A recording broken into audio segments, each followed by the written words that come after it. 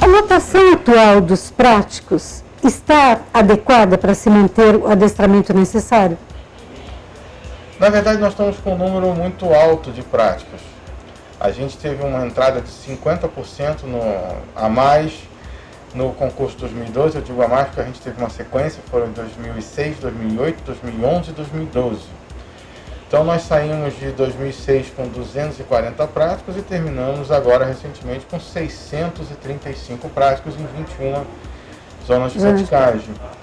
E o movimento de navios não de carga não subiu tanto assim.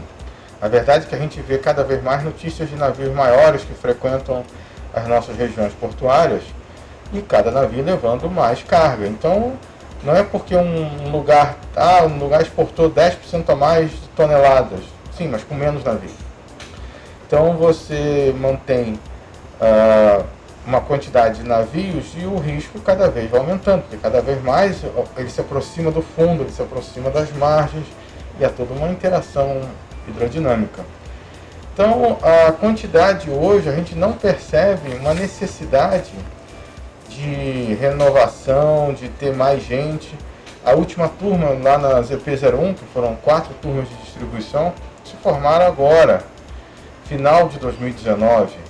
Então nós temos práticas que tem poucos meses que realmente tiraram a carta.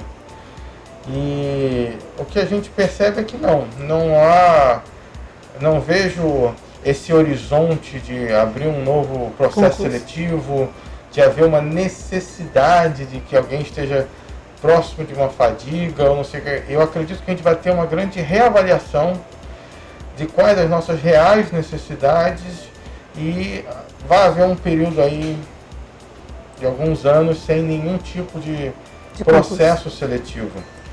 Muito provavelmente não é o que muito cursinho está dizendo aí, porque o pessoal tem que ganhar o dinheiro deles, eu também não vou me meter no negócio uhum. cada um mas não enxergo esse, essa realidade. Essa possibilidade. Não.